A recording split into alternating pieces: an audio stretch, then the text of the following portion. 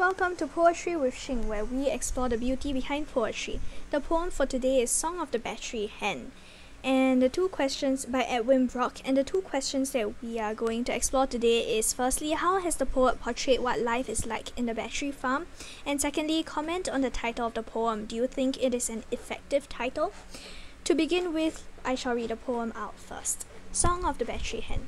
We can't grumble about accommodation. We have a new concrete floor that's always dry, four walls that are painted white, and a sheet iron roof the rain drums on. A fan blows warm air beneath our feet to disperse the smell of chicken shit, and on dull days, fluorescent lighting sees us. You can tell me if you come by the north door, I am in the 12th pen on the left hand side of the third row from the floor, and in that pen, I am usually the middle one of three. But even without directions, you'd discover me.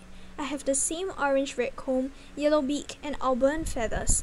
But as the door opens and you hear above the electric fan a kind of one word wail, I am the loudest one who sounds I am the one who sounds the loudest in my head.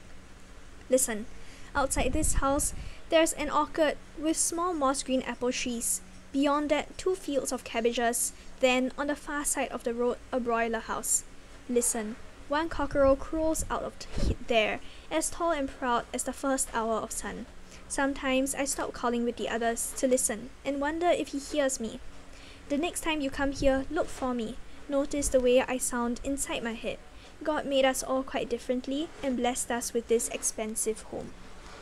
Now that we're done with reading the poem, we shall be exploring the two questions of today. So, firstly, how has the poet portrayed what life is like in the battery farm? The poet portrays what life is like in the battery farm through the speaker's point of view, which is the perspective of a chicken living in there. So, through the description of the battery cage the chicken lives in, the accommodation is portrayed to be satisfactory and is up to the expectation of the chicken. In the first stanza, the idea of new concrete floor four walls painted white, and a sheet iron roof the rain drops on are used to describe the battery farm, suggesting that it is robbed of all natural characteristics, making it an artificial home for the chickens, where it is noisy when it rains due to the material the roof is made of.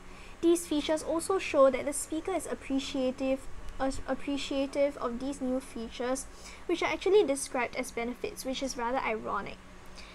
Furthermore, due to the language used in the to describe the accommodation, in the second stanza, the chicken is a 12th pen on the left hand side of the third row from the floor, and in that pen, the chicken is usually the middle one of the three, suggests that the chickens are living in extremely crowded conditions through the imagery of the confinement that the chicken experiences.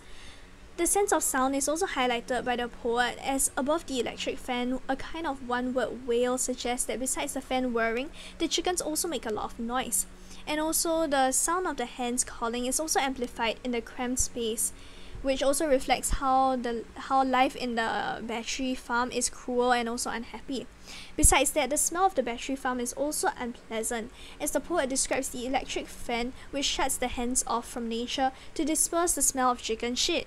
Although the poet describes largely inhumane conditions that the chickens are living in, as they are largely crowded, unsanitary, and noisy, there is the use of irony at the ending of the poem which provides an insight to the perspective of the chicken, as the chicken says that God blessed the chickens with this expensive home. By using blessed, there is a positive diction that the chicken views its accommodation as a good and pleasant one, further emphasized by expensive, suggesting work and effort have been put in to build the chicken's home through the perspective of the inhabitants of the battery farm. Despite the uh, poet painting a cold and lifeless image of the living environment. This is contradictory to the description in the previous stanzas, highlighting the contrast in perspectives of humans who advocate against battery farms for animal rights and the chicken's perspective that the battery farm is habitable and not infringing on their rights. To add on to this, I would also like to point out a sense of denial within the poem because the battery hen is rather in denial in the fact that it thinks that it's making a big difference or that it's very important in the lives of others as seen in um as seen in I'm the one who sounds the loudest in my head. However, the reality is that what she the hen is hearing is only merely in the hen's imagination which is connoted by the idea of the head. So in actuality, despite the hen projecting a sense of self-importance on the hen herself, there is actually a sense of denial that is shrouding the entire battery farm.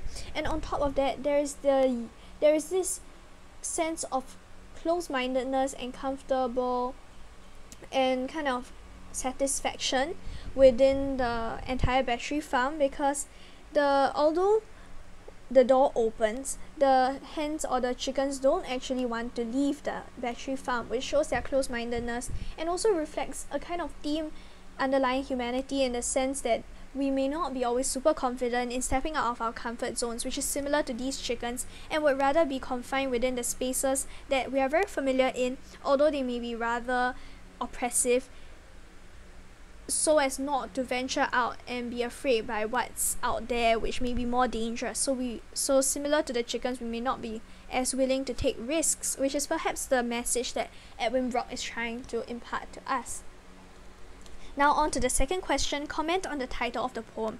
Do you think it is an effective one for me, I think the title is effective in bringing out the personal voice of the chickens living in the battery farm because chickens always cluck in song. Hence, with the title of The Song of the Battery Hen, it suggests that the poem would present what is commonly thought by the chickens, effectively contradicting the humans' opinions on animal cruelty.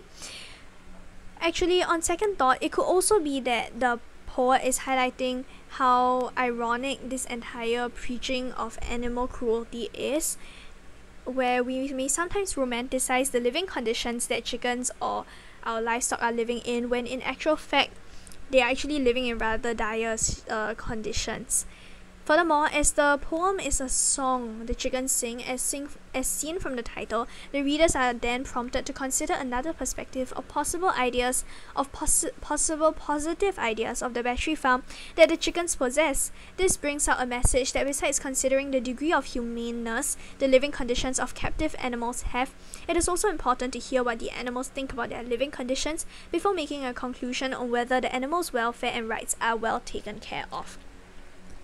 That's all for today's poem and if you would like another poem or poet to be analysed, please comment the details below. Till then, see you!